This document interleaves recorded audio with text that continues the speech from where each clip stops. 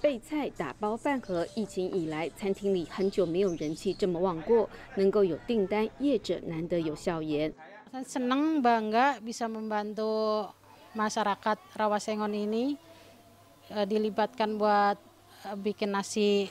Order gini istilahnya buat bagi-bagi dari Buddha Suci, ya terbantu juga sih.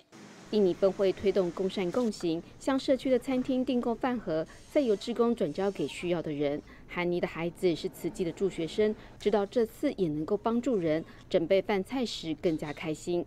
Benar terbantu, sangat bersyukur banget deh sama Tuhan. Ada berkat, ya pokoknya kita juga senang melakukan ini karena kan dengan 不论是照顾户或是贫困家庭，甚至是在路上的街友，只要有需要，职工是亲手送上。Senang banget, karena kita kan orang ini ya, jadi dapat bantuan senang banget saya. Di mana masa masa ppkm ini kan banyak masyarakat yang juga kesusahan ya, ada yang di PHK atau seperti pemulung, tukang sapu itu. Nah kita makanannya berbagi berbagi ke orang-orang yang butuh.